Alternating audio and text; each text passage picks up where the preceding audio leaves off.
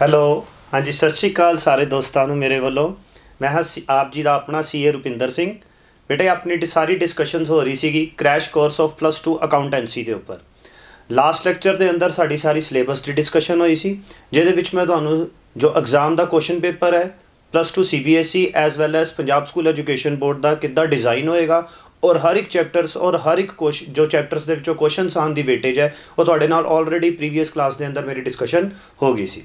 ਅੱਜ ਆਪਾਂ ਬੇਟੇ ਡਿਸਕਸ਼ਨ ਕਰਦੇ ਹਾਂ ਜੋ ਆਪਣੇ ਕੋਰਸ ਦਾ ਪਹਿਲਾ ਚੈਪਟਰ ਹੋਏਗਾ ਔਰ ਇਹਨੂੰ ਆਪਾਂ ਬੋਲਾਂਗੇ ਪਾਰਟਨਰਸ਼ਿਪ ਅਕਾਊਂਟਿੰਗ ਜਿਹਦੇ ਵਿੱਚ ਆਪਾਂ ਫੰਡਾਮੈਂਟਲਸ ਔਰ ਬੇਸਿਕਸ ਆਫ ਪਾਰਟਨਰਸ਼ਿਪ ਦੀ ਡਿਸਕਸ਼ਨ ਤੁਹਾਡੇ ਨਾਲ ਕਰਨ ਜਾ ਰਹੇ ਹਾਂ ਦੇਖੋ ਇਸ ਚੈਪਟਰ ਇਸ ਚੈਪਟਰ ਨੂੰ ਅਸੀਂ ਕਿੰਨੇ ਟੌਪਿਕਸ ਦੇ ਅੰਦਰ ਡਿਵਾਈਡਡ ਕੀਤਾ ਹੈ ਆਪਾਂ there are 7 topics first topic ਦੇ ਅੰਦਰ ਸਾਡੀ ਡਿਸਕਸ਼ਨ ਹੋਏਗੀ basic discussion of partnership accounting ਮਤਲਬ ਫਸਟ ਟੌਪਿਕ ਮੈਂ ਤੁਹਾਡੇ ਨਾਲ ਇਹ ਡਿਸਕਸ ਕਰਾਂਗਾ ਕਿ ਪਾਰਟਨਰਸ਼ਿਪ ਅਕਾਊਂਟਿੰਗ ਹੈ ਕੀ ਹੈ ਠੀਕ ਹੈ ਨੈਕਸਟ ਵਨ ਸੈਕੰਡ ਡਿਸਕਸ਼ਨ ਤੁਹਾਡੀ ਹੋਏਗੀ rules applicable in the absence of partnership deed then third discussion ਹੋਏਗੀ calculation of interest on capital fourth discussion ਹੋਏਗੀ calculation of interest on drawings then fifth discussion ਤੁਹਾਡੇ ਨਾਲ ਹੋਏਗੀ preparation of profit and loss appropriation account as well as partners capital account in case of fixed partner capital as well as fluctuating partners capital then sixth discussion, past adjustment entry. ਔਰ finally last discussion ਜਿਹੜੀ ਮੇਰੀ ਤੁਹਾਡੇ ਨਾਲ ਹੋਏਗੀ guarantee of profit to partner ਜਿਹੜਾ last topic ਹੈ ਬੇਟੇ 7th number ਜਿਹੜਾ ਟੌਪਿਕ ਹੈ, ਇਹ ਪੰਜਾਬ ਸਕੂਲ ਐਜੂਕੇਸ਼ਨ ਬੋਰਡ ਦੇ ਬੱਚਿਆਂ ਦੇ ਲਈ ਰੈਲੀਵੈਂਟ ਨਹੀਂ ਹੈ। Guarantee of profit to partner only applicable for CBSE students last topic ਸਿਰਫ ਸੀਬੀਐਸਈ ਸਟੂਡੈਂਟਸ ਦੇ ਬੱਚਿਆਂ ਦੇ ਲਈ ਐਪਲੀਕੇਬਲ ਹੈ। ਪੰਜਾਬ ਬੋਰਡ ਦੇ ਲਈ ਇਹ ਲਾਸਟ ਟੌਪਿਕ ਐਪਲੀਕੇਬਲ ਨਹੀਂ ਹੋਏਗਾ। ਇਹਦਾ ਮਤਲਬ ਪੰਜਾਬ ਬੋਰਡ ਵਾਲਿਆਂ ਦੇ ਲਈ ਫਸਟ 6 ਟੌਪਿਕਸ ਐਪਲੀਕੇਬਲ ਹੋਣਗੇ ਔਰ ਸੀਬੀਐਸਈ ਦੇ ਲਈ ਜਿਹੜਾ ਹੋਏਗਾ 7 ਟੌਪਿਕਸ ਐਪਲੀਕੇਬਲ ਹੋਣਗੇ। ਅੱਛਾ 1 ਮਿੰਟ ਬੇਟੇ, ਮੈਂ ਪਹਿਲਾਂ ਸਾਰੀ ਡਿਸਕਸ਼ਨ ਕਰ ਦਵਾਂ ਕਿ ਆਪਾਂ ਨੂੰ ਪੜ੍ਹਨਾ ਕਿਵੇਂ ਹੈ। ਦੇਖੋ, ਜਿਹੜੇ ਵੀ ਇਹ ਮੈਂ ਕਨਸੈਪਟਸ ਤੁਹਾਡੇ ਸਾਹਮਣੇ ਲਿਖ ਰਿਹਾ, ਜਿਹਨੂੰ ਮੈਂ ਟੌਪਿਕਸ ਦੀ ਡਿਸਕਸ਼ਨਸ ਦੇ ਰਿਹਾ ਵਾਂ, ਇਹਦੀ ਮੈਂ ਪ੍ਰੋਪਰ ਸਲਾਈਡਸ ਬਣਾ ਕੇ ਤੁਹਾਡੇ ਮਤਲਬ ਸਕਰੀਨ ਦੇ ਉੱਪਰ ਆਂਦੀ ਰਹੇਗੀ। ਮਤਲਬ ਪੀਪੀਟੀ ਸਲਾਈਡਸ ਜਿਹੜੀਆਂ ਹੋਣਗੀਆਂ, ਜੋ ਕਨਸੈਪਟਸ ਦੀਆਂ ਹੋਣਗੀਆਂ, ਮੇਰੀ ਪੂਰੀ ਕੋਸ਼ਿਸ਼ ਹੋਏਗੀ ਕਿ ਮੈਕਸਿਮਮ ਉਹ ਸਲਾਈਡਸ ਤੁਹਾਡੇ ਅੱਗੇ ਆਂਦੀਆਂ ਰਹਿਣ। ਉਹਦੇ ਨਾਲ ਕੀ ਹੋਏਗਾ ਕਿ ਆਪਣਾ ਥੋੜਾ ਟਾਈਮ ਸੇਵ ਹੋਏਗਾ, ਜਿਹਦੇ ਨਾਲ ਆਪਾਂ ਇਸ ਕ੍ਰੈਸ਼ ਕੋਰਸ ਨੂੰ ਟਾਈਮ ਸਿਰ ਕੰਪਲੀਟ ਕਰ ਸਕਾਂਗੇ। ਨੈਕਸਟ ਵਨ ਕਿ ਜਿਹੜੇ ਆਪਣੇ ਕੁਐਸਚਨਸ ਹੈ, ਉਹ ਕੁਐਸਚਨਸ ਵੀ ਤੁਹਾਨੂੰ ਸਕਰੀਨ ਦੇ ਉੱਪਰ ਆਣਗੇ ਠੀਕ ਹੈ ਜੀ? ਔਰ ਉਹ ਕੁਐਸਚਨਸ ਦੀ ਔਰ ਜੋ ਸਲਾਈਡਸ ਦੋਨੋਂ ਚੀਜ਼ਾਂ ਜੋ ਆ ਰਹੀਆਂ ਆ ਰਹੀਆਂ ਨੇ ਸਲਾਈਡਸ ਔਰ ਐਸ ਵੈਲ ਐਸ ਜੋ ਕੁਐਸਚਨਸ ਹੋਣਗੇ। ਦੋਨਾਂ ਦੀ ਪੀਡੀਐਫ ਦੇ ਵਿੱਚ ਮੈਂ ਫਾਈਲ ਨੂੰ ਕਨਵਰਟ ਕਰਕੇ www.tvschool.in ਦੇ ਉੱਪਰ ਅਪਲੋਡ ਕਰਵਾ ਦਵਾਂਗਾ। ਮਤਲਬ ਇਸ ਲੈਕਚਰ ਨੂੰ ਜਦੋਂ ਤੁਸੀਂ ਦੇਖਣ ਬੈਠ ਰਹੇ ਹੋ, ਉਸ ਤੋਂ ਪਹਿਲਾਂ ਤੁਸੀਂ ਉਹ ਆਪਣਾ www.tvschool.in ਦੀ ਸਾਈਟ ਤੇ ਜਾ ਕੇ ਤੁਸੀਂ ਇਹ ਸਾਰੀ ਸਲਾਈਡਸ ਦੀਆਂ ਪੀਡੀਐਫ ਔਰ ਐਸ ਵੈਲ ਐਸ ਜੋ ਕੁਐਸਚਨਸ ਮੈਂ ਇੱਥੇ ਬੋਲਾਂਗਾ, ਜੋ ਕੁਐਸਚਨਸ ਦੇ ਇੱਥੇ ਸੋਲੂਸ਼ਨਸ ਦੀ ਆਪਾਂ ਡਿਸਕਸ਼ਨ ਕਰਾਂਗੇ, ਉਹ ਪੀਡੀਐਫ ਫਾਈਲ ਤੁਸੀਂ ਡਾਊਨਲੋਡ ਕਰਕੇ ਉਹਦੀ ਹਾਰਡ ਕਾਪੀ ਨਿਕਾਲ ਕੇ ਜਾਂ ਉਹਦੀ ਸੌਫਟ ਕਾਪੀ ਨਿਕਾਲ ਕੇ ਆਪਣੇ ਸਾਹਮਣੇ ਰੱਖ ਲੈਣਾ, ਜਿਹਦੇ ਨਾਲ ਮੈਨੂੰ ਕੁਐਸਚਨਸ ਡਿਸਕਸ਼ਨ ਕਰਨ ਦੇ ਵਿੱਚ ਥੋੜੀ ਜੀ ਆਸਾਨੀ ਹੋ ਜਾਏਗੀ। ਕਿਉਂਕਿ ਕ੍ਰੈਸ਼ ਕੋਰਸ ਦੇ ਅੰਦਰ ਆਪਾਂ ਟਾਈਮ ਕਨਸਟ੍ਰੇਂਟ ਨੂੰ ਧਿਆਨ 'ਚ ਰੱਖ ਕੇ ਆਪਾਂ ਸਭ ਕੁਝ ਕੰਪਲੀਸ਼ਨ ਕਰਨਾ ਹੈ, ਔਰ ਉਹ ਤਾਂ ਹੀ ਹੋਏਗਾ ਕਿ ਜੇ ਤੁਸੀਂ ਉਹਨੂੰ ਆਪਣੀ ਕਲਾਸ ਦੇ ਵਿੱਚ ਜਾਂ ਜਦੋਂ ਵੀ ਤੁਸੀਂ ਲੈਕਚਰ ਲਗਾਉਣ ਬੈਠ ਰਹੇ ਹੋ, ਤਾਂ ਤੁਸੀਂ ਉਹ ਆਪਣੀ ਹਾਰਡ ਕਾਪੀ ਜਾਂ ਸੌਫਟ ਕਾਪੀ ਆਪਣੇ ਮੋਬਾਈਲ ਜਾਂ ਡੈਸਕਟਾਪ ਜਾਂ ਲੈਪਟਾਪ ਦੇ ਉੱਪਰ ਆਪਣੀ ਨਿਕਾਲ ਕੇ ਬੈਠੋਗੇ। ਸੋਲੂਸ਼ਨਸ ਦੀ ਡਿਸਕਸ਼ਨ ਹੋਏਗੀ ਤੁਹਾਡੇ ਨਾਲ, ਠੀਕ ਹੈ? ਬਾਕੀ ਸਲਾਈਡਸ ਵੀ ਤੁਹਾਨੂੰ ਕਲਾਸ ਦੇ ਅੰਦਰ ਦਿਖਾਈਆਂ ਜਾਣਗੀਆਂ। ਐਸ ਪਰ ਯੂਅਰ ਕਨਵੀਨੀਅੰਸੀ ਅਗਰ ਤੁਸੀਂ ਉਹਨੂੰ ਡਾਊਨਲੋਡ ਕਰਕੇ ਰੱਖੋਗੇ ਤਾਂ ਜ਼ਿਆਦਾ ਬੈਟਰ ਹੋਏਗਾ। ਠੀਕ ਹੈ ਜੀ? ਨੈਕਸਟ ਆਪਾਂ ਮੂਵ ਕਰਦੇ ਹਾਂ। ਟੌਪਿਕ ਨੰਬਰ 1 ਦੇ ਉੱਪਰ। ਹਾਂਜੀ ਬੇਟੇ ਟੌਪਿਕ ਨੰਬਰ 1 ਦੀ ਪਹਿਲਾਂ ਆਪਾਂ ਡਿਸਕਸ਼ਨ ਕਰਦੇ ਹਾਂ। ਟੌਪਿਕ ਨੰਬਰ 1 ਸੀਗਾ ਬੇਸਿਕ ਡਿਸਕਸ਼ਨ ਆਫ ਪਾਰਟਨਰਸ਼ਿਪ ਪਹਿਲਾਂ ਆਪਾਂ 3-4 ਮਿੰਟ ਲਗਾਉਂਦੇ ਆ ਕਿ ਪਾਰਟਨਰਸ਼ਿਪ ਕੀ ਹੈ। ਤੁਸੀਂ ਸਲਾਈਡ ਦੇ ਵਿੱਚ ਦੇਖ ਰਹੇ ਹੋਵੋਗੇ ਕਿ ਪਾਰਟਨਰਸ਼ਿਪ ਦਾ ਮਤਲਬ ਕੀ ਹੁੰਦਾ ਹੈ। ਦੇਖੋ ਪਾਰਟਨਰਸ਼ਿਪ ਦੀ ਡਿਫਾਈਨ ਕਰਨਾ ਹੈ ਆਪਾਂ। ਵਾਟ ਇਜ਼ ਪਾਰਟਨਰਸ਼ਿਪ ਔਰ ਡਿਫਾਈਨ ਪਾਰਟਨਰਸ਼ਿਪ ਇਹ ਦੋਨਾਂ ਦੇ ਅੰਦਰ ਡਿਫਰੈਂਸ ਹੁੰਦਾ ਹੁੰਦਾ ਹੈ। ਸਾਨੂੰ ਐਗਜ਼ਾਮ ਦੇ ਵਿੱਚ ਜਿਹੜਾ ਕੁਐਸਚਨ ਆਏਗਾ, ਜੋ ਐਕਸਪੈਕਟਿਡ ਹੈ ਕਿ ਡਿਫਾਈਨ ਪਾਰਟਨਰਸ਼ਿਪ ਔਰ ਜਦੋਂ ਆਪਾਂ ਕੋਈ ਡੈਫੀਨੇਸ਼ਨ ਦੇਣੀ ਹੁੰਦੀ ਹੈ, ਤਾਂ ਆਪਾਂ ਨੂੰ ਕੋਈ ਨਾ ਕੋਈ ਐਕਟ ਜਾਂ ਕੋਈ ਨਾ ਕੋਈ ਆਪਾਂ ਆਥਰ ਦੀ ਡੈਫੀਨੇਸ਼ਨ ਨੂੰ ਆਪਾਂ ਹਮੇਸ਼ਾ ਡਿਫਾਈਨ ਕਰਦੇ ਹੁੰਦੇ ਆ ਆਥਰ ਦੀ ਡੈਫੀਨੇਸ਼ਨ ਸਾਡੇ ਲਈ ਉੱਥੇ ਕੀ ਹੋ ਜਾਂਦੀ ਹੈ? ਇੱਕ ਨੈਸੈਸਰੀ ਹੁੰਦੀ ਹੈ ਜੋ ਸਾਨੂੰ ਦੇਣੀ ਹੁੰਦੀ ਹੈ। ਪਰ ਅਕਾਊਂਟੈਂਸੀ ਦੇ ਅੰਦਰ, ਸਾਡੇ ਕਾਮਰਸ ਫੀਲਡ ਦੇ ਅੰਦਰ ਆਥਰ ਦੀ ਜਗ੍ਹਾ ਸਾਡੇ ਲਈ ਕੀ ਯੂਜ਼ ਹੁੰਦੇ ਨੇ? ਐਕਟਸ ਅੱਛਾ, ਹੁਣ ਪਾਰਟਨਰਸ਼ਿਪ ਨੂੰ ਜੇ ਕੋਈ ਡਿਫਾਈਨ ਕਰੇਗਾ ਤਾਂ ਕੋਈ ਆਥਰ ਨਹੀਂ ਕਰੇਗਾ।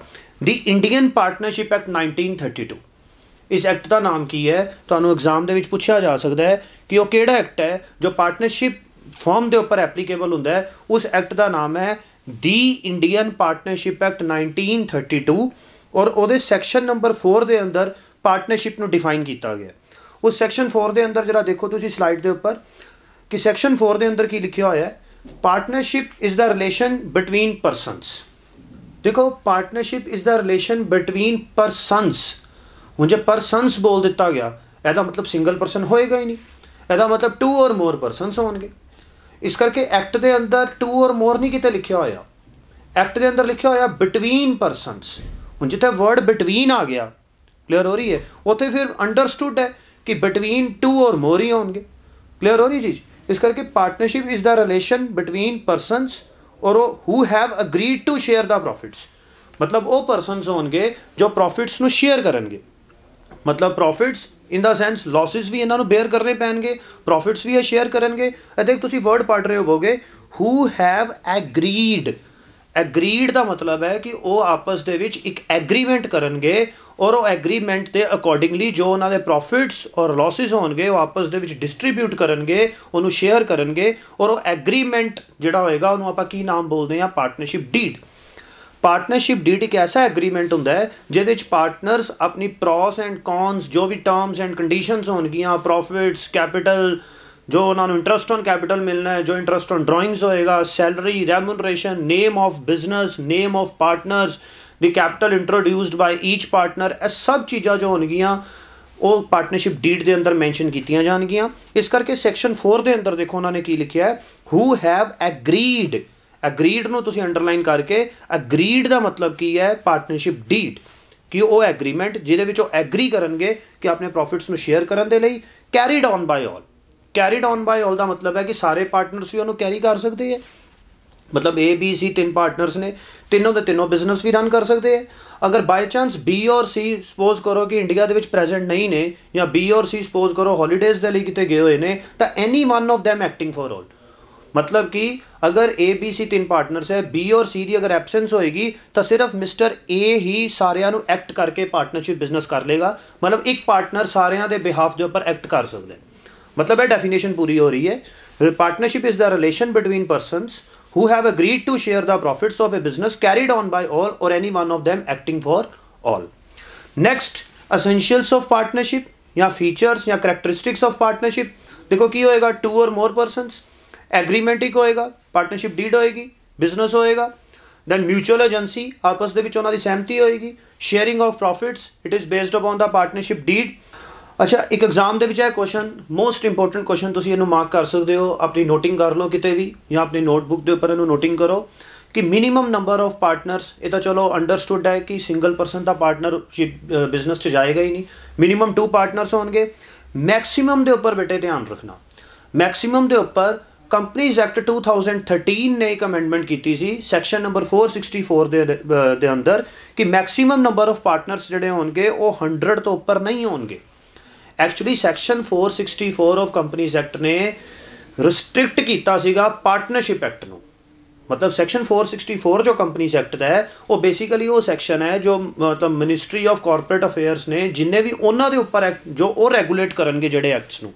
For example Indian partnership act regulate ਕੌਣ ਕਰ ਰਿਹਾ ਹੈ ਮਿਨਿਸਟਰੀ ਆਫ ਕਾਰਪੋਰੇਟ ਅਫੇਅਰਸ ਤਾਂ ਉਹਨਾਂ ਨੇ 464 ਦੇ ਅੰਦਰ ਇੱਕ ਰਿਸਟ੍ਰਿਕਸ਼ਨ ਲਗਾਈ ਸੀਗੀ ਕਿ maximum partners so but the companies miscellaneous rules ਲਿਖ ਲੈਣਾ ਆਪਣੀ ਨੋਟਬੁੱਕ ਦੇ ਉੱਪਰ ਦੀ ਕੰਪਨੀਜ਼ ਅੱਗੇ bracket miscellaneous bracket close rules comma 2014 ਇਹਦੇ ਵਿੱਚ ਉਹਨਾਂ ਨੇ ਇਸ ਲਿਮਿਟ ਨੂੰ ਫਿਕਸ ਕੀਤਾ ਹੈ 50 ਮਤਲਬ ਮੈਕਸਿਮਮ 100 ਪਾਰਟਨਰਸ ਹੋ ਸਕਦੇ ਨੇ ਪਰ ਕੰਪਨੀਜ਼ ਮਿਸਲੇਨੀਅਸ ਰੂਲਸ ਨੇ 2014 ਨੇ, ਇਹਦੀ ਰੈਸਟ੍ਰਿਕਸ਼ਨ ਫਿਲਹਾਲ ਕਿੱਥੇ ਲਗਾਈ ਹੋਈ ਹੈ? 50 ਮਤਲਬ ਪ੍ਰੈਜ਼ੈਂਟਲੀ ਦਾ ਲਿਮਿਟ ਕੀ ਹੋਏਗੀ ਪਾਰਟਨਰਸ ਦੀ ਮੈਕਸਿਮਮ 50 ਪਾਰਟਨਰਸ ਕਲੀਅਰ ਹੋ ਰਹੀ ਹੈ ਜੀ? ਕੱਲ ਨੂੰ ਇਹਨਾਂ ਨੂੰ ਜੇ 70 ਕਰਨੇ ਪੈ ਗਏ, ਤਾਂ ਰੂਲਸ ਨੂੰ ਚੇਂਜ ਕਰਕੇ 70 ਵੀ ਕਰ ਸਕਦੇ ਨੇ 80 ਵੀ ਕਰ ਸਕਦੇ ਆ 90 ਵੀ ਕਰ ਸਕਦੇ ਆ 100 ਵੀ ਕਰ ਸਕਦੇ ਆ ਪਰ ਅਗਰ 100 ਤੋਂ ਉੱਪਰ ਲੈ ਕੇ ਜਾਣਾ ਹੋਇਆ, ਫਿਰ ਇਹਨਾਂ ਨੂੰ ਐਕਟ ਦੇ ਵਿੱਚ ਚੇਂਜ ਕਰਨਾ ਪਏਗਾ। ਔਰ ਜੇ ਐਕਟ ਦੇ ਵਿੱਚ ਕੋਈ ਅਮੈਂਡਮੈਂਟ ਕਰਨੀ ਪਏ, ਉਹ ਪਾਰਲੀਮੈਂਟ ਦੇ ਸੈਸ਼ਨਸ ਦੇ ਅੰਦਰ ਹੁੰਦੀ ਹੈ।